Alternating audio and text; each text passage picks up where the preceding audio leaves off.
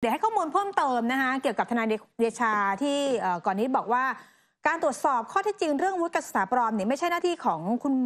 แพทย์หญิงเกตกมลที่ต้องชี้แจง แต่เป็นหน้าที่ของผู้ที่สงสัยต้องไปแจ้งความดำเนินคดีเอาเอง และพิสูจน์ว่า การกระทำผิดเนี่ยหรือไม่อย่างไรนะคะ ส่วนคำว่าศาสตราจารย์ที่เป็นดราม่าเนี่ยทนายเดชามองว่าเป็นเรื่องในสหรัฐไม่เกี่ยวกับไทย ซึ่งการนำวุฒิการศึกษาดังกล่าวมาสมัครสว ไม่ถือว่าผิดกฎหมาย เพราะว่าไม่มีการตั้งเกณฑ์กำหนดเรื่องวุฒิการศึกษาขั้นพื้นฐานเลขเอกสารทุกอย่างตรวจสอบแล้วก็พบว่าเป็นของจริงทั้งหมดนะคะส่วนข้อความที่ใส่ลงไปในใบสวสามที่มีการแนะนำว่าเป็นศาสตราจารย์นั้นเนี่ยเข้าข่ายหลอกลวงหรือไม่นักข่าวถามเมื่อวันก่อนทนายเดชาก็บอกว่าเป็นเรื่องที่มีอยู่จริงในสหรัฐ แม้ไม่ได้รับรองในไทย แต่ก็เป็นศาสตราจารย์มหาวิทยาลัยของเขา แม้มาใช้ในไทยก็ไม่มีความผิดอะไร แล้วก็จะย้อนถามว่าผู้ที่เลือกเข้าใจผิดอะไร ส่วนจะเป็นการเขียนให้ มันมันเกินจริงหรือไม่เวอร์หรือไม่เนี่ยนะคะก็เป็นความเข้าใจของผู้ที่เลือกเอง ไม่ได้เขียนว่าเป็นศาสตราจารย์ในประเทศไทยที่ได้รับการโปรดเกล้าอืมอันนี้เป็นข้อข้อมูลที่ทนายเดิชาเนี่ยได้อ่า บอกเอาไว้ในวันแถลงข่าวนะคะ ส่วนที่บอกว่าอาจารย์ที่มีการยืนยันว่าหมอเกตใช้ภาษาอังกฤษได้ดี คือก่อนหน้านี้ก็มีการวิพากษ์วิจารณ์ถึงเรื่องของการใช้ภาษาอังกฤษของคุณหมอเกตด้วยนะคะซึ่งก็มีอาจารย์ท่านหนึ่งเนี่ยก็คือดรสุขุมพงศ์นะคะผู้ช่วยศาสตราจารย์ดรสุขุมพงศ์ชานุวงศ์เนี่ยก็ออกมาบอกว่าจริง ๆ เนี่ยหมอเกตเนี่ยภาษาอังกฤษเนี่ยดีนะ คืออใช้ได้ดีแต่ว่าในวันที่มันเป็น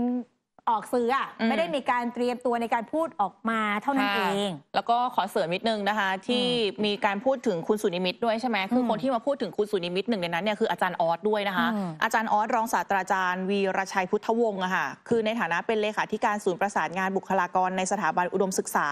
คือโพสใน Facebook บอกว่าเดี๋ยวจะฟ้อง 3 คนเลยก็คือตัวแทนทนาย แล้วก็สวเกตกมลที่ทำให้วงการวิชาการไทยมันปั่นป่วนเสียเกียรติยศ แล้วก็เดี๋ยวจะเอาพยานหลักฐานเนี่ยไปสู้ในชั้นศาลด้วยนะคะ เพราะว่าทางทีมกฎหมายของอาจารย์ออสเนี่ยจะไปฟ้อง แล้วก็บอกว่าจริงๆเนี่ยมีสิทธิ์เก่า UC System 10 วิทยาเขตก็กำลังรวมตัวกันค่ะเพื่อกอบกู้ศักดิ์ศรีมหาวิทยาลัยชั้นนำระดับโลกนะคะ แล้วบอกว่าก่อนหน้านี้มีแชทที่ ส่งมาให้ทีมงานอาจารย์ออสดู คือพูดถึงคุณสุนิมิตนี่แหละ ที่บอกว่าจะไปฟ้องไอ้ตัวมาตรา 77วรรคสี่ตามพรปสวนะคะ คือจริงตามอันเนี้ยวรรคสี่เนี่ยคือบอกว่าห้ามผู้ใดกระทำการดังต่อไปนี้ เพื่อจูงใจให้คนมาสมัครสว จูงใจให้คนถอนการสมัคร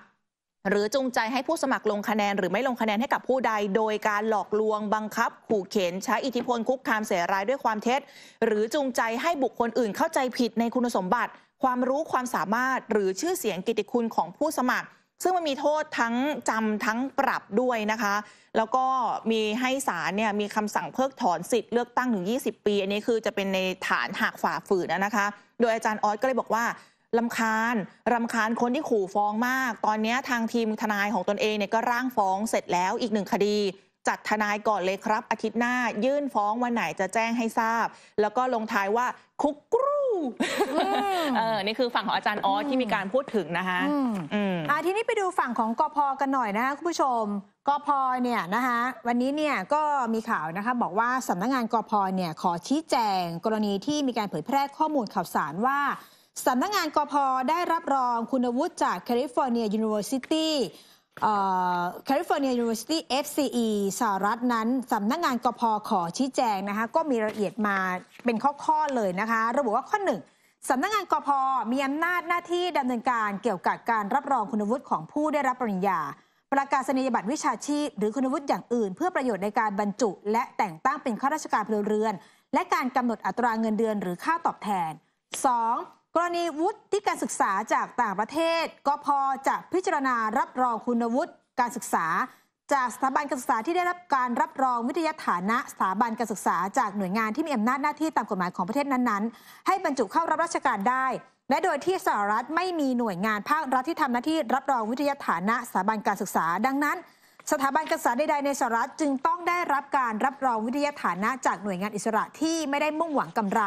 ที่ทำหน้าที่รับรองวิทยาฐานะสถาบันการศึกษา หรือองค์กรวิชาชีพ ที่ทำหน้าที่รับรองวิทยาฐานะมาตรฐานวิชาชีพ ข้อ 3 ก็คือบอกว่ากรณีสถาบันการศึกษา ระดับอุดมศึกษาในรัฐแคลิฟอร์เนีย จะต้องได้รับการรับรองจาก the WASC Senior College and University Commission นะคะซึ่งผู้สำเร็จจากการศึกษาจากสถาบันการศึกษาระดับอุดมศึกษาในรัฐแคลิฟอร์เนีย ที่ได้รับการรับรองจากสถาบันเมื่อสักครู่ที่ได้พูดชื่อไปเนี่ยนะ จะต้องได้รับจากที่นี่เท่านั้น คือชื่อย่อของเขาก็คือ WAS นะคะ WASC ดังนั้นกอพเนี่ยจึงจะรับรองคุณวุฒิเพื่อให้สามารถบรรจุและแต่งตั้งเป็นข้าราชการพลเรือนได้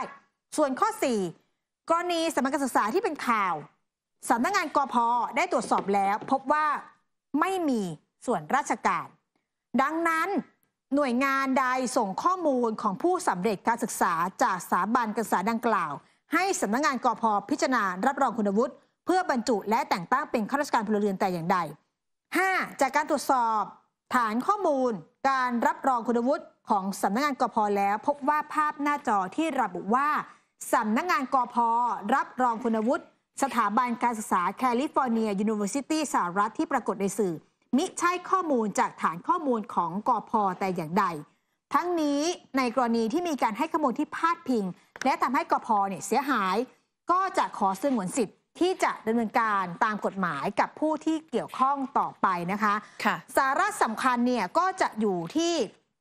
เอ่อข้อ5นะคะที่บอกว่ามันมีการตรวจสอบข้อมูลการรับรองคุณวุฒิของกพนะที่มีการระบุว่าหน้าจอว่ากพเนี่ยรับรองคุณวุฒิ สถาบัน California University ที่ปรากฏตามสื่อ อันเนี้ยไม่ใช่ข้อมูลจากฐานข้อมูลของสำนักงานกพทีนี้ถ้าเกิดว่าใครที่ให้ข้อมูลพาดพิง แล้วก็ทำให้กพเสียหาย สงวนสิทธิ์ที่จะดำเนินการตามกฎหมายผู้ที่เกี่ยวข้องต่อไป นี่นะคะ ก็ให้ข้อมูลอืมยืนยันออกมาอย่างนี้นะคะ ค่ะ ไปดูเรื่องของอาสวกันหน่อยดีกว่าค่ะนะคะ คือเมื่อวานนี้นะคะปรากฏว่า นายสมชัยศรีสุทธิยากรเนี่ยก็ได้โพสต์ Facebook นะคะแล้วก็ตั้งคำถาม บอกว่ารัฐสภารัฐสภาไทยว่าไง คือประเด็นเนี่ยคือเขาบอกว่าออพอไปดูเขาไปเช็คข้อมูลมานะคะ เกี่ยวกับเรื่องของ California University เนี่ยคือเขาบอกว่าหน้าแรกของเว็บไซต์ของ California University FCE เนี่ยเคลมนี่บอกว่ามีการเคลมว่ารัฐสภาไทยเนี่ยได้ยอมรับปริญญาบัตรของ California University FCA ว่ามีศักดิ์และมีสิทธิ์เทียบเท่าปริญญาบัตรที่ออกโดยมหาวิทยาลัยของรัฐ ในประเทศไทยทุกประการ พูดง่าย ๆนะคะบอกว่าพออาจารย์สมชัยไปดู ไปเจอว่าหน้าเว็บของ California University เนี่ยเป็นการโฆษณาว่ายอมรับปริญญาบัตรมีสิทธิ์และมีศักดิ์เทียบเท่าปริญญาบัตรที่ออกโดยมหาวิทยาลัยของรัฐในประเทศไทยทุกประการนี่เขาโฆษณามาแบบนี้นะคะก็มีการตั้งคำถามเอาไว้ซึ่งมันก็ต้องมีการตรวจสอบว่าค่ะจะเป็นยังไงต่อไปอืมทีนี้มันมีข้อมูลเพิ่มเติมนะคะ จากนายอิสระเสรี วัฒนาวุฒิรองเลขาธิการสถาบันพระปกเกล้า แล้วก็เอ่ออยู่ในฐานะหน่วยงานในกำกับของประธานรัฐสภาด้วยนะคะ ก็พูดถึงประเด็นนี้ก่อน คุณอิสระเนี่ยบอกว่ารัฐสภาไทยนี่นะคะที่ให้การรับรองว่าเทียบเท่ามหาวิทยาลัยของรัฐของประเทศไทย ตรงนี้เนี่ยเอออยู่ระหว่างการประสานงานในการตรวจสอบและชี้แจงต่อสังคมต่อไป เพราะว่าก็ยังมีคนที่วิพากษ์วิจารณ์ แล้วก็เคลือบแคลงสงสัยในประเด็นนี้อยู่นะคะค่ะทีนี้เนี่ยเมื่อวานนี้คุณอิสระเนี่ยก็ย้อนกลับไปพูดถึงข้อถกเถียง เกี่ยวกับเรื่องของวุฒิการศึกษาของเออคุณหมอเกศกมลนะคะที่ตอนนี้ก็เป็นสวใช่ไหมแล้วก็เป็นอ่าสถานะของ California University คุณอิสระบอกว่าได้เห็นเอกสารของหน่วยงานนี้มาหลายครั้ง California University ที่พูดพูดกันเนี่ยชื่อจดทะเบียนจริง ๆ ก็คือ California University FCE ซึ่ง FCE เนี่ยก็ย่อมาจาก Foreign Credential Evaluation นะ ซึ่งสรุปก็คือว่าองค์กรเนี้ยไม่ใช่มหาวิทยาลัยแต่อย่างใด แล้วก็ในเว็บไซต์ก็ระบุว่าไม่มีวัตถุประสงค์ในการจัดการสอนทว่าคือหน่วยงานเทียบวุฒิการศึกษาที่ตั้งชื่อว่า มหาวิทยาลัยแคลิฟอร์เนีย คือใช้คำนี้เป็นชื่อเฉพาะ